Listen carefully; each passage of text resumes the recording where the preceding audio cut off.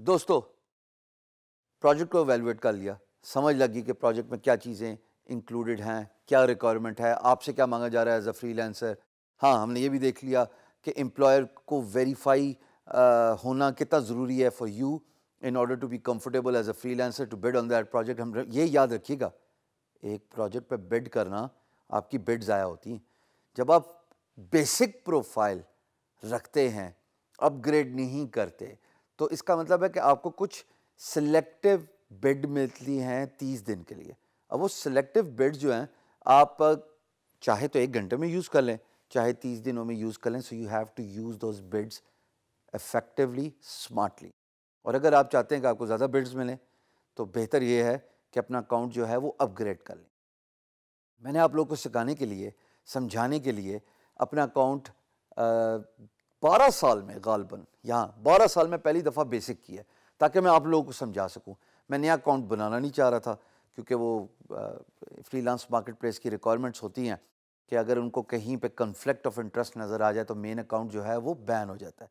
So what have done is I have degraded my membership of guru.com for you guys only for recording these videos for purpose of teaching you uh, उसको uh, को मैंने basic कर तो आइए एक project को देखते हैं and let's try to understand कि हमें क्या वो ट्रिक्स समझनी है, सीखनी है in order to understand an employer's brief आइए स्क्रीन पे चलते हैं। दोस्तों, मेरी स्क्रीन पे आप देख रहे हैं एक प्रोजेक्ट रैंडमली ओपन हुआ हुआ है। मैं क्या कर रहा हूँ? मैं इस, जैसा आप मेरी स्क्रीन पे देख रहे हो, मैं इस प्रोजेक्ट को डीबग करने की कोशिश करूँगा, इसको एक्सप्लोर करने की कोशिश करूँगा, इसको अंडरस्टैंड यानी कि समझने की कोशिश करूँगा। तो आइए देखते हैं कि यहाँ पे एम्प्लॉयर साहब मांग क्या रहे हैं। देखिएगा, इनका का इनका अकाउंट वेरीफाइड ही है ऑटोमेटिकली क्योंकि इसके आगे ब्लू टिक लगा हुआ है। इन्होंने जनाब 100 डॉलर का एक प्रोजेक्ट यानी कि पेड प्रोजेक्ट एक है, वो ऑल सक्सेसफुली ऑलरेडी कंप्लीट कर चुके हैं। लो जी, ये तो टेंशन ख़त्म होगी ना। कि पंजाबी में कहते हैं ये मेरे पैसे ले लेके नसेगा नहीं। यहाँ तक तो कन्फर्मेशन हो गई कन्फ्यूज़न क्लियर हो गई। अब आओ इसका प्रोजेक्ट पढ़ते हैं।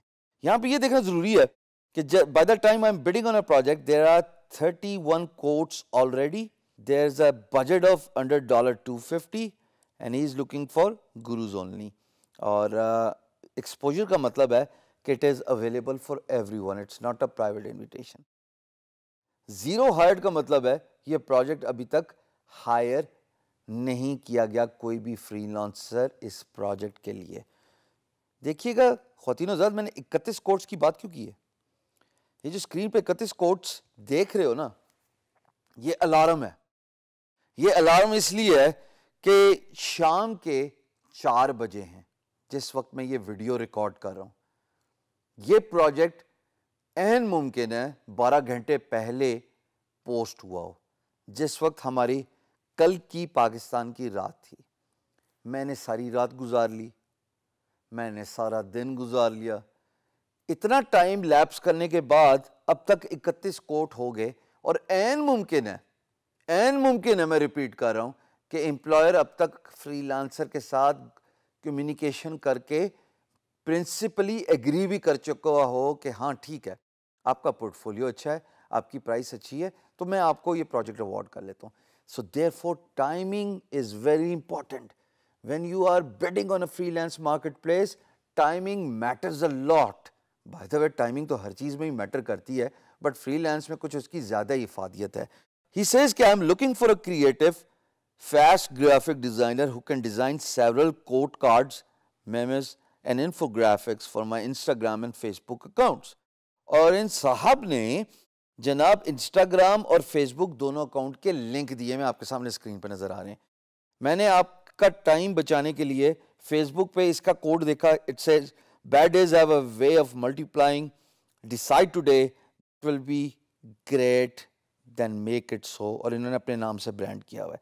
So he is looking for some one who can design these quotes इनका ग्राफिक का काम कर दे। तो ये इस तरह के इमेजेस बनवाते हैं और उनके ऊपर टचअप्स कराते हैं, जिस तरह कि ये सेंट्रलाइज इमेज आप देख रहे हो। और मैं ये भी देख रहा हूँ कि इन साहब की सोशल मीडिया फॉलोइंग भी अच्छी है। उनतीस दफ़ा ये पोस्ट लाइक हुई और 16 कमेंट्स ऑलरेडी आए हुए so in short he is looking for someone जिनको ये 250 डॉलर देंगे और ये जनाब ऑन गोइंग वर्क है और ये चाहते हैं कि कोर्ट्स वगैरह बनाएँ। यहाँ पे सवाल क्या उठता है? आइए देखते हैं। तो ये जो दो लिंक्स हैं इनसे रिलेटेड एक सवाल मेरे जहन में आया। आपके जहन में आया क्या?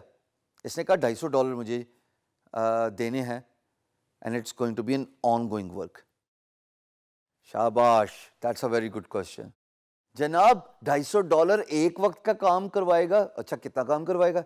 या ढाई सौ डॉलर ऑन गोइंग प्रोजेक्ट है तो क्या ये मंथली प्राइस है?